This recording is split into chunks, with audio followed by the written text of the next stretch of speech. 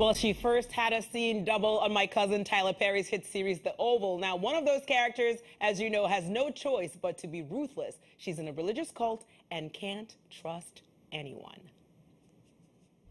You think I don't know when I'm being played? Such language, Rose. Oh, you think that's something? to? Wait till you see these hands. I beg your pardon? Don't play games with me.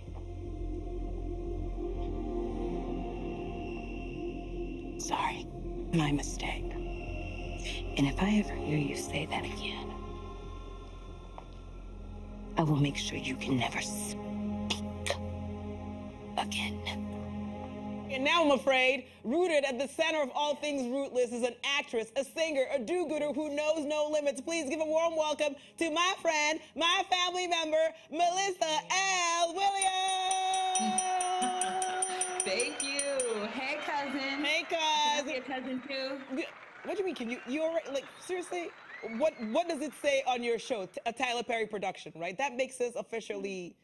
We don't need We're Maury to tell us we're related. You are the No. cousin. If it went to Maury, he would be like, That's right.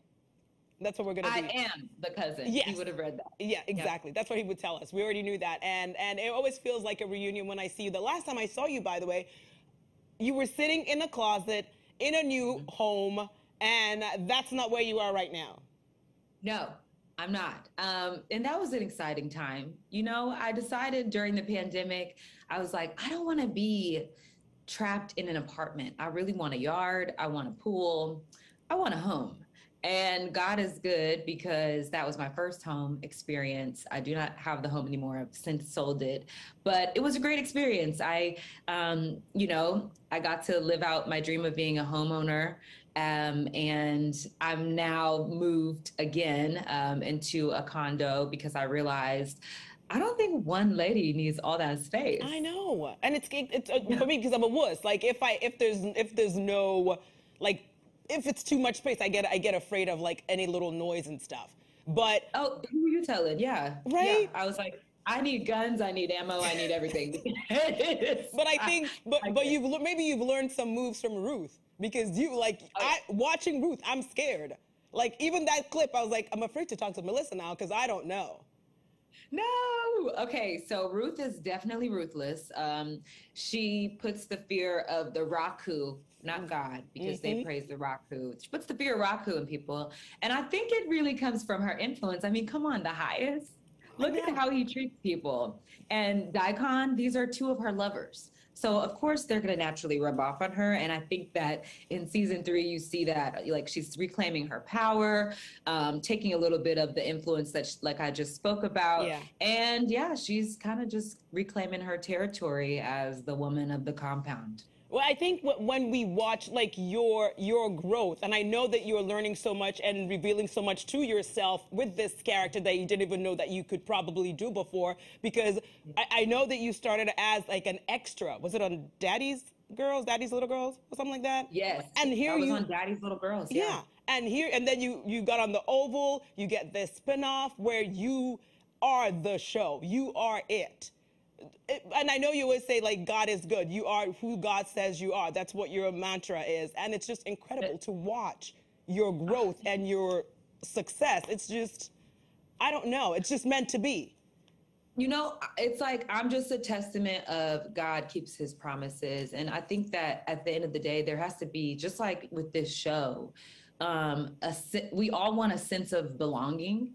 Um, and I think that that's like a human need. Mhm. And so I think for this to happen to me, my dreams actually manifest.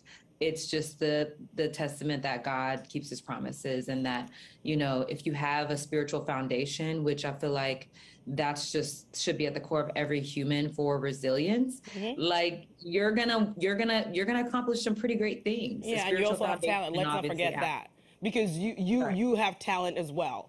And not just acting talent, the singing part. So since you're all the way in LA, I can't stalk you enough. Can I? Can we do Broadway soon? Why, by we, I mean you, not me. Are we, Oh, I was like, going go. to? Me and you can do Little Shop of Horrors together. If you if you turn off my mic, yeah, we will. I if got I- you. I'll sing. your If I part. lip sync, we can. But can you? Will you?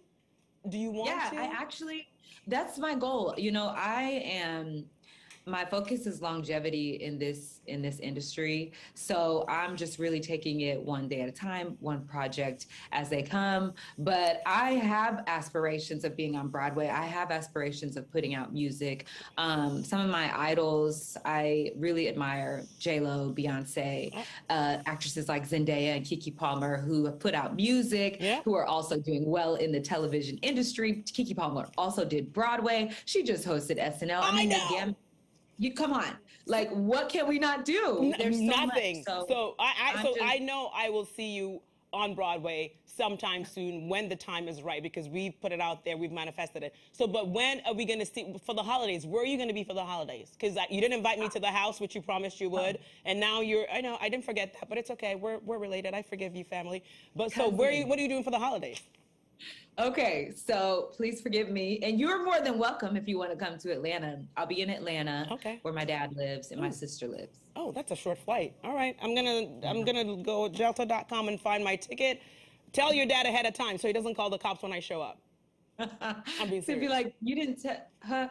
And I'm be like, just just let her in. Let her in. She's fa- she's Sally Berry's cousin. Let her in. Right? Yeah. And you let me in. Melissa, you know it's always a pleasure to see you. Always a pleasure to chat with you, and hopefully we'll get to see you in person one of these days. But for now, we're all just gonna watch you via TV. New episodes of Ruthless, everyone. It drops every Thursday on BET Plus. Go support her, not just because she's my cousin and family member, but because she's she's the best. Good to see you Ah, as always. you. Keep glowing. Me too. Sending you all the love and peace, and I hope that you have an abundant holiday. Ooh, I feel and it. hopefully, like you said, I'm there. You will be. in person. You can hug and catch You will up. be. You will be. See you soon. Okay.